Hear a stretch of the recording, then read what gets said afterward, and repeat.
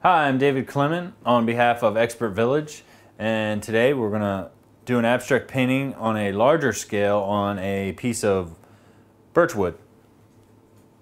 Alright, take your squeegee and get ready to have some fun.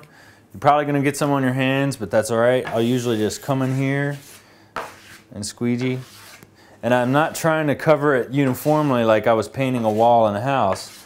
I'm just trying to cover and move the paint around. And I, you see I'm moving around the table and I'm just trying to spread this paint and get a really vibrant image. And um, so once I get the bulk of it squeegeed around, then I can start playing it. And then with this birch wood, it's really cool. If you press hard, you can almost get right back down to the wood color.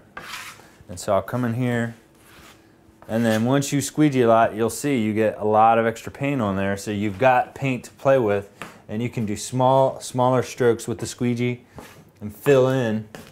And then this is basically my background. And so once I do this, you see how quickly I'm covering such a huge area of paint. It's awesome. And it's, it's much different than using a brush for me.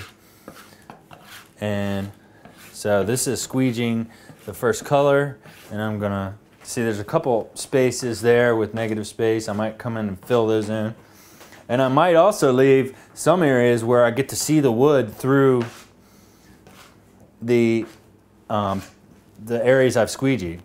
But I have a feeling by the time I get done with this painting, I'll pretty much have covered every square inch of this.